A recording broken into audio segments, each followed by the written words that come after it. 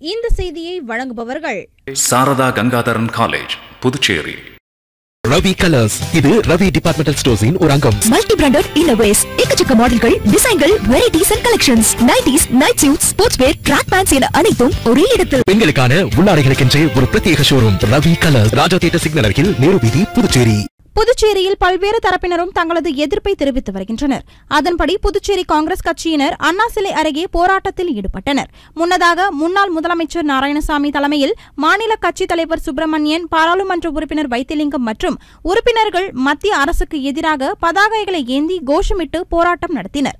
இந்த அணியை தொடர்ந்து முன்னாள் அமைச்சர்கள் ஷாஜகான் கந்தசாமி முன்னாள் சட்டமன்ற உறுப்பினர் அனந்தராமன் ஆகியோர் தலைமையிலான ஒரு தரப்பினர் திரண்டு நின்று மத்திய அரசுக்கு எதிராக பதாகைகளை ஏந்தி கோஷமிட்டு போராட்டம் செய்தனர்.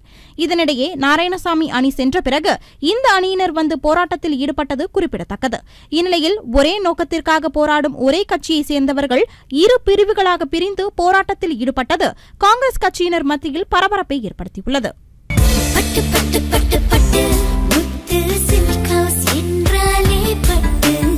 முத்து பாண்டிச்சேரி ராஜா தியேட்டர் சிக்னல் அருகில் மட்டும்.